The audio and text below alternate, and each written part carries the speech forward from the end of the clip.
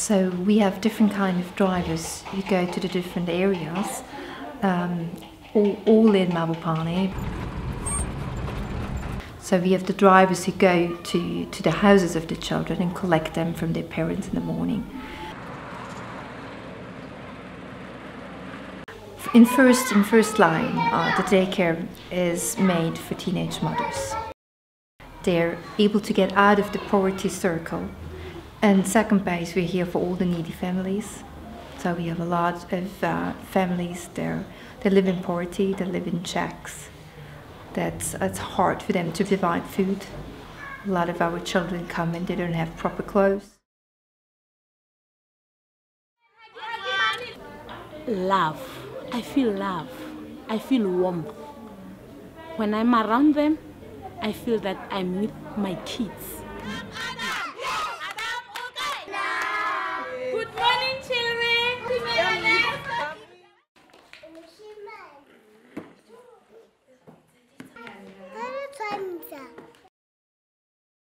Every morning when the children come in and we start with the morning circle, we ask them, each child individually, how did you feel? And they show us with the arrow pointing to the dinosaur. And so that gives us a good opportunity to start talking about feeling and what's going on. How is your dinosaur feeling today? Is it happy or is it sad? It's happy. It's happy! Happy! Which one is this like? Mm. Mm. Mm.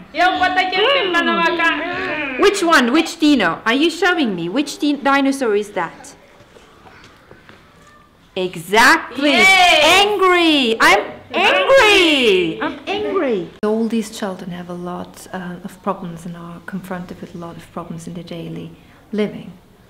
So means really like having uh, not enough food, not enough uh, water to drink, not a safe environment for them. So abusive is, is something that they're very much exposed in their life. So if somebody touches you somewhere that you don't want to, what do you say? Stop. Don't touch me. Exactly. Stop. Don't touch me. This is my body. And you show me? You show me? You show me how you do that? Stop. I don't like it. They are so special to me because whatever that we do in class, it shows that they can they listen. They listen. So for me, it's a success, and it's a it's a goal. It means that everything that we do with them, they can achieve. if, if, if you look at them when they, when they come in or if you see them um, in the morning circle, um, you really can see that they're, that they are eager to learn, that they really want to learn, that they understand that this is an opportunity. I mean, those are the most open, sweetest, uh, most adorable children I ever worked with.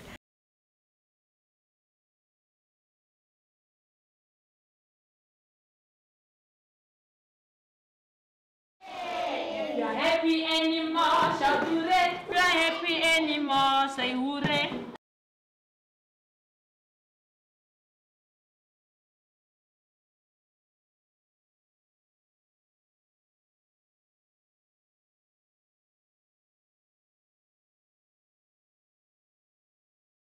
The need is incredibly big. So we started two years ago. We have now around 70 children in the daycare and we have 84 children on the waiting list. So the need is really, really big.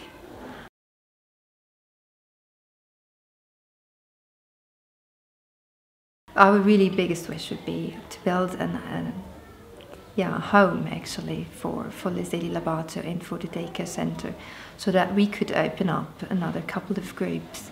If we could have around six groups in total, that would be wonderful.